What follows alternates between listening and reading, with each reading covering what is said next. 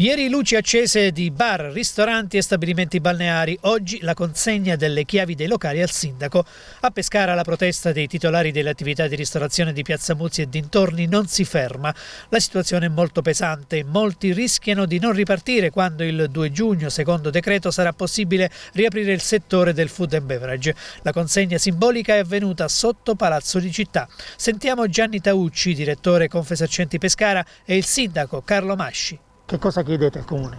Abbiamo già chiesto e continueremo a chiedere l'immediato blocco della tassazione locale, eh, consapevoli di tutto quello che accade con un blocco della tassazione locale, ma le imprese non possono sostenere questi costi. Richieste da avanzare alla Regione? Alla Regione stiamo chiedendo dei voucher a fondo perduto importanti che diano l'opportunità di far recuperare quei costi che oggi le imprese hanno eh, approntato e hanno tolto dalle loro liquidità per, anche per una ripartenza abbastanza veloce con eh, soldi che non dovranno restituire perché altrimenti non avremmo possibilità di far riaprire le attività tutte.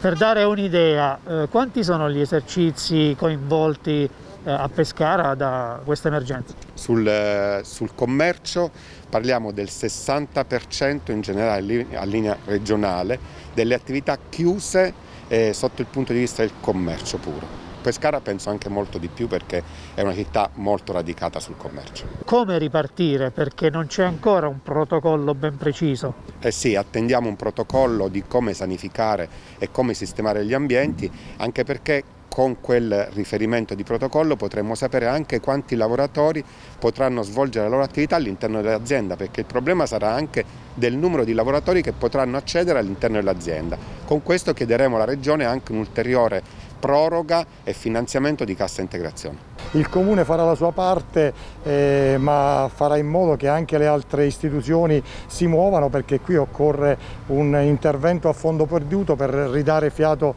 alle attività, lo dico da tempo che purtroppo oggi sono in ginocchio. Azzeramento della Tari ma anche altre tasse comunali è possibile intervenire? Noi stiamo lavorando su queste iniziative, certo occorrerà un intervento dello Stato importante anche per i comuni perché i comuni ovviamente pagano le attività, anche quella della Tari che è una tassa dei rifiuti solidi urbani con le risorse che arrivano dai cittadini. Dovremo avere anche noi un intervento straordinario da parte dello Stato di cui si parla, speriamo che arrivi e noi, l'ho già detto e lo ripeto, qualsiasi risorsa che avremo a disposizione libera la utilizzeremo per abbattere i costi per eh, i commercianti e per i cittadini di Pescara che ovviamente devono avere la forza di reagire e di ripartire con l'aiuto del Comune e di tutte le istituzioni.